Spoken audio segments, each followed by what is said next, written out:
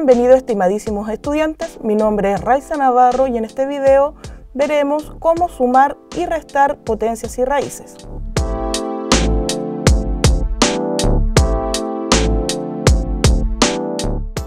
Para ello te invito a que busques tus apuntes de las propiedades de las potencias y de las raíces y los mires por unos minutos.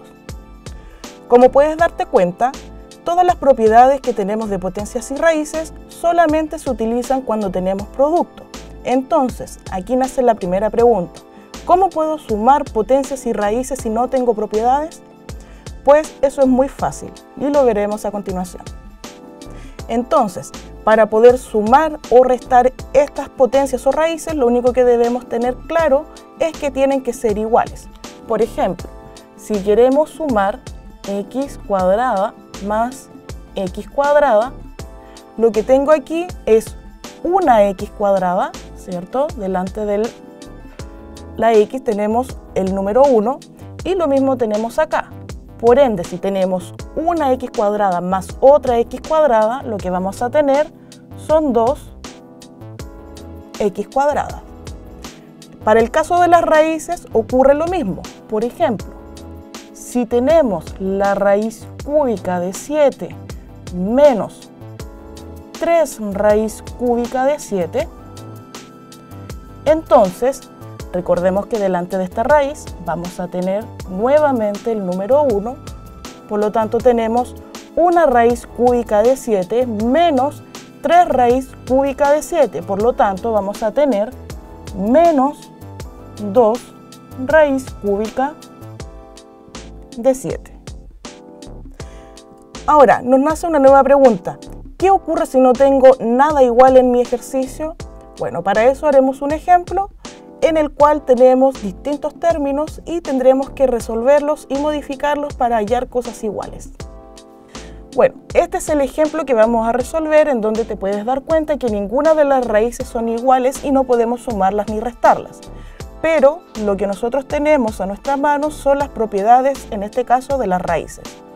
Entonces comenzaremos utilizando la propiedad 7 de las raíces, en donde podemos separar las raíces en división, quedando 2 por la raíz de 3 dividido en la raíz de 4 menos la raíz de 27 más un cuarto por la raíz de 12 menos 3 raíz de 75 dividido en la raíz de 9. Entonces, ahora con esta expresión podemos continuar descomponiendo factores que tengan raíces exactas. En este caso, este se mantiene igual, pero en este caso sabemos que 27 es lo mismo que decir 3 por 9, en donde el 9 es una raíz exacta más un cuarto por la raíz cuadrada de 12, pero 12 sabemos que lo podemos escribir como 3 por 4, en donde el 4 es la raíz exacta, menos 3 por la raíz de 75, pero la raíz de 75 la podemos escribir como 3 por 25, en donde el 25 es la raíz exacta, dividido en la raíz de 9. Entonces, como ya descompusimos los factores que estaban dentro de las raíces en algún factor que tuviera raíz exacta, lo que hicimos aquí fue dar vuelta y poner el factor de mayor dominación, en este caso el 9, el 4 y el 25, para que sea mucho más fácil su cálculo. Ahora, para continuar con este ejercicio, utilizaremos la propiedad 6 de las raíces, en donde podemos separar estas raíces y tendremos lo siguiente. 2 por raíz de 3 por la raíz de 4 menos la raíz de 9 por la raíz de 3 más un cuarto por la raíz de 4 por la raíz de 3 menos 3 por la raíz de 25 por la raíz de 3 Todo eso dividido en la raíz de 9. Ahora, como podemos darnos cuenta, tenemos muchas raíces que son raíces exactas y conocemos su valor. En este caso, vamos a extraer la raíz, entonces vamos a tener la raíz de 3 dividido en 2, ¿cierto? La raíz de 4 es 2, menos la raíz de 9, que es 3, por la raíz de 3, más un cuarto por la raíz de 4, que es 2, por la raíz de 3, menos 3 por la raíz de 25, que es 5, por la raíz de 3, dividido en la raíz de 9, que es 3. Entonces, para continuar el desarrollo de esto, podemos darnos cuenta que podemos simplificar algunos números de las fracciones. Por ejemplo, podemos simplificar este 2 que está en el numerador con este 2 que está en el denominador. Luego podemos simplificar este 2 que está en el numerador y lo simplificamos con el 4 quedando así un 2 acá abajo. Y por último en el último término en donde tenemos un 3 en el numerador simplificado con el 3 del denominador. De este modo nos queda que esta expresión será la raíz de 3 menos 3 raíz de 3 más un medio por raíz de 3 menos 5 raíz de 3.